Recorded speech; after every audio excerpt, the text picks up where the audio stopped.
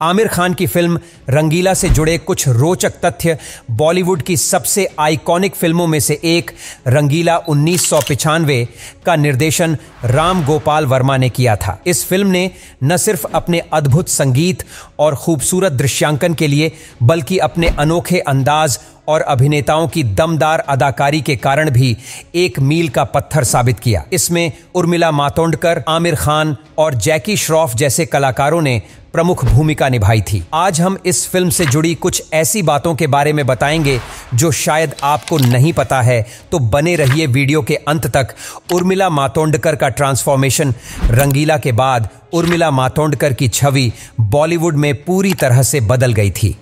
Film के निर्देशक राम गोपाल वर्मा ने उन्हें एक ग्लैमरस और बोल्ड अवतार में पेश किया। इससे पहले उर्मिला को मुख्यतः मासूम और नरसी भगत जैसी फ़िल्मों में ही देखा गया था, जिसमें उनकी छवि एक साधारण और मासूम लड़की की थी। राम गोपाल वर्मा ने उन्हें एक पूरी तरह से नए रूप में प्रस्तुत किया, जिससे दर्शक भी हैरान रह गए। यह उर्मिला के करियर का टर्निंग पॉइंट साबित हुआ। बहुत कम लोग जानते हैं कि राम गोपाल वर्मा ने उर्मिला को चुनने के पीछे एक मुख्य कारण यह था कि उन्हें उर्मिला की मासूमियत और चंचलता का संगम बहुत पसंद था, जो मिली के किरदार के लिए परफेक्ट था। आमिर खान की तैयारी आमिर खान को बॉलीवुड में उनके परफेक्शनिस्ट के रूप में जाना जाता है और रंगीला के मुन्ना के किरदार के लिए भी उन्होंने कुछ ऐसा ही किया। मुन्ना का किरदार एक टपोरी का था, जो मुंबई की गलियों में रहता था। इस किरदार के लिए आमिर ने असली टपोरियों के साथ समय बिताया और उनके हाव भाव भाषा और अंदाज को बारीकी से सीखा। उन्होंने अपनी बोली में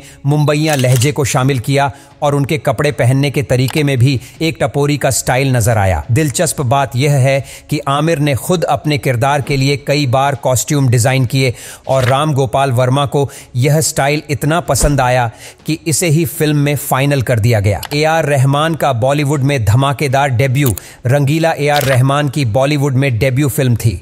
इससे पहले वह तमिल फ़िल्मों में अपना संगीत दे चुके थे। बहुत कम लोग जानते हैं कि जब राम गोपाल वर्मा ने ए आर रहमान से संपर्क किया, तब वे उन्हें बहुत अच्छी तरह से नहीं जानते थे। लेकिन जब उन्होंने रहमान के कुछ गाने सुने तो उन्हें तुरंत एहसास हुआ कि यह व्यक्ति उनकी फ़िल्म के लिए परफेक्ट संगीत तैयार कर सकता है। फ़िल्म के गाने जैसे तन्हा तन्हा और रंगीला रे सुपरहिट साबित हुए और आज भी संगीत प्रेमियों के बीच पसंद किए जाते हैं। ए आर रहमान का काम इतना अनूठा था कि उन्होंने इस फ़िल्म के लिए फ़िल्म फेयर अवार्ड भी जीता। जैकी श्रॉफ का अजीबोगरीब किस्सा। जैकी श्रॉफ फ़िल्म में एक सफल फ़िल्म स्टार राज कमल का किरदार निभाते हैं। एक मज़ेदार किस्सा यह है कि जैकी श्रॉफ को शूटिंग के दौरान एक सीन में गाड़ी चलानी थी, लेकिन उन्हें ठीक से गाड़ी चलाना नहीं आता था। सेट पर जब यह बात सामने आई तो पूरी टीम हैरान हो गई। आखिरकार, जैकी ने कहा कि वह सीन की शूटिंग किसी दूसरे तरीके से कर लेंगे और फिर उन्हें सीन के लिए गाड़ी को धीरे धीरे धक्का देकर चलाने का सुझाव दिया गया। इसे बाद में कैमरे के एंगल्स और एडिटिंग की मदद से संभाला गया। राम गोपाल वर्मा और आमिर खान के बीच रचनात्मक मतभेद। राम गोपाल वर्मा और आमिर खान दोनों ही अपने काम के प्रति जुनूनी थे और फ़िल्म की शूटिंग के दौरान उनके बीच कई बार रचनात्मक मतभेद हुए। कहा जाता है कि फ़िल्म के कुछ दृश्यों के फिल्मांकन को लेकर दोनों के बीच बहस भी हो गई थी। हालाँकि अंत में दोनों ने मिलकर फ़िल्म को उस अंदाज में प्रस्तुत किया जैसा दर्शकों ने देखा।